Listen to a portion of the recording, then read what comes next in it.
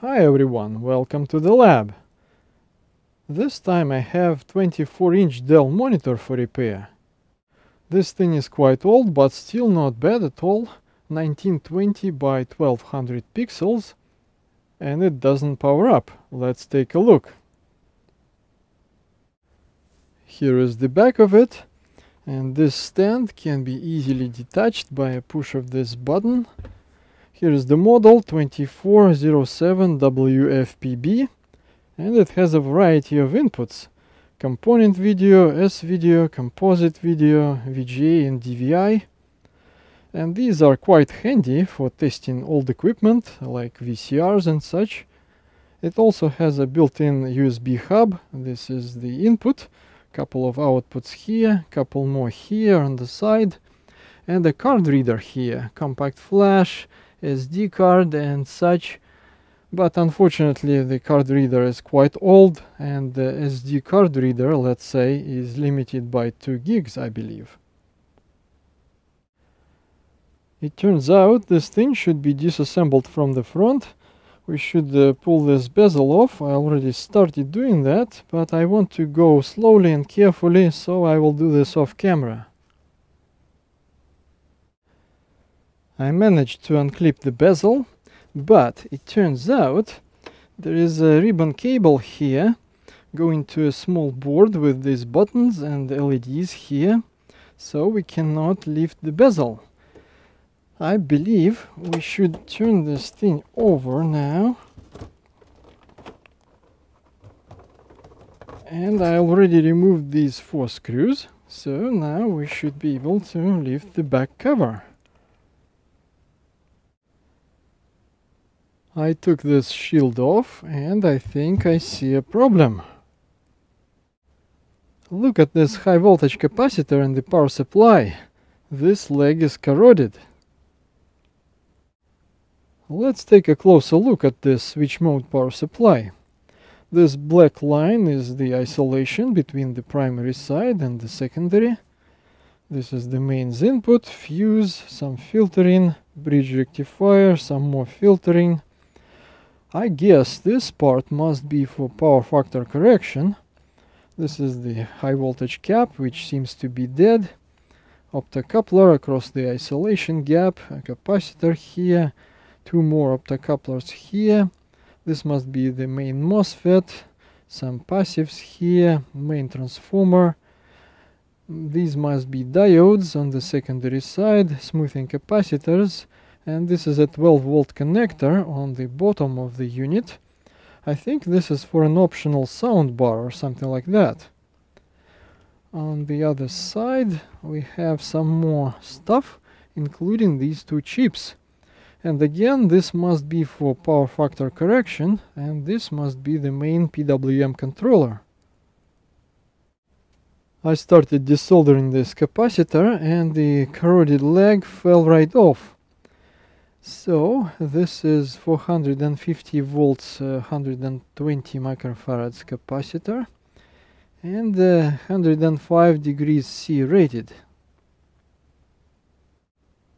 I happen to have a replacement 150 microfarads, slightly more but that should be fine, 450 volts and also 105 degrees C. I started checking other things other capacitors seem to be fine, but I see that this resistor is blown. Maybe you can see a black dot on it here, and this MOSFET is shorted. Hopefully you can see now there is a burn mark on it, and it is open. And here is the shorted MOSFET, these three pins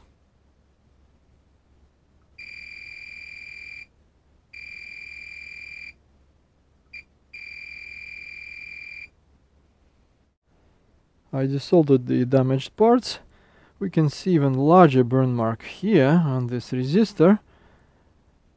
It is a current sense 0.22 ohm resistor marked uh, red red silver and there is another one here so I could verify with my LCR meter.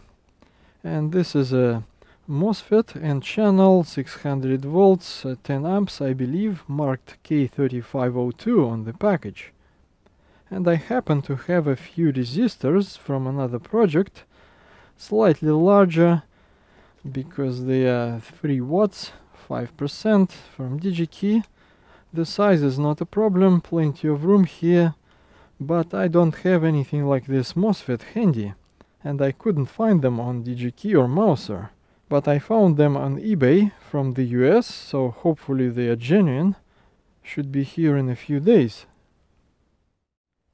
here I have a few replacement MOSFETs. Let's put the new parts in and see what happens.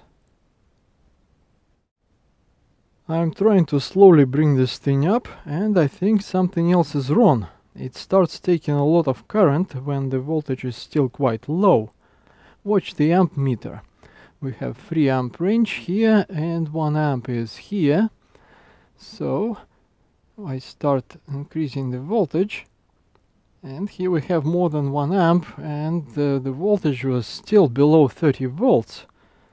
I suspect that the controller chip is dead.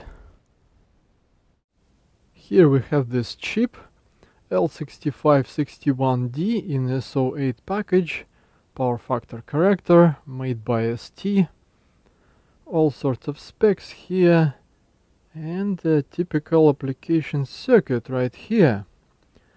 So we had this capacitor dead, this MOSFET shorted and this current sense resistor blown. I wouldn't be surprised if the chip died as well. Here it is on DigiKey, 91 cents a piece, plenty in stock, can ship immediately. Here I have a couple of new chips from DigiKey. Let's replace and see if that fixes the problem. Here is this chip desoldered using my Pace hot tweezers with appropriate tips for this use case. It was quite easy. So I have a new chip installed and now there is no excessive current, but there is no output either. So I started checking and in particular I'm monitoring the power rail on that chip using this isolated scope.